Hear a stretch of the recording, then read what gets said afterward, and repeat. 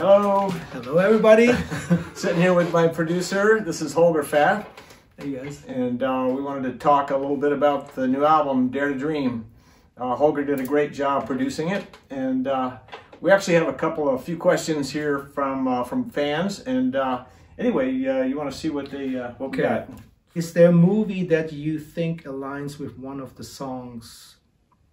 The title track, Dare to Dream, I would say it was kind of like sometimes when I start, uh, I mean, you obviously write the song, and uh, it's kind of like a journey. Every song takes on a journey when you produce it. And there's so many different ways to produce it, guitar wise, keyboard wise, all the arrangement. And that song kind of like was a long a long journey. It was a long journey because i kind of tried different things and but then when you have this kind of theme that you're looking for it's kind of like falls in place